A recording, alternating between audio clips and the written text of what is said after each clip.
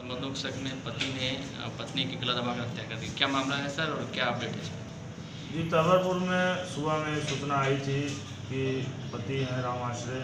उनके द्वारा जो है अपनी पत्नी की हत्या कर दी गई है। उनकी शादी के चौदह वर्ष हो गए हैं, तीन बच्चे हैं। गले पर चोट के निशान हैं।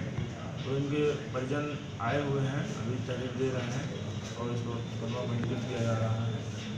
पति को पूछताछ के लिए हिरासत में लिया गया है और उससे पूछताछ की जा रही है। पोस्टमार्टम के लिए, जो है डेड बॉडी भेजी जा रही है तो अग्रिम कार्रवाई की जा रही है।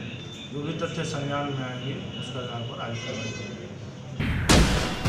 सब्सक्राइब कीजिए हमारे डायनामाइट न्यूज़ चैनल को और दबाइए इस बेल आइकन को, ताकि आपको मिल सके हमारे लेटेस्ट वीडियो सबसे पहले।